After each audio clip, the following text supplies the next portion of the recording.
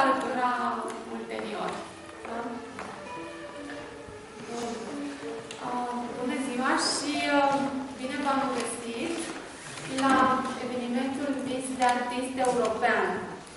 Este un eveniment uh, organizat de Centrul de Informare Europene București, găzduit de Institutul European din România și este dedicat uh, Zilei Europene a Muzicii, care va fi sărbătorită peste câteva zile, pe 21 iunie.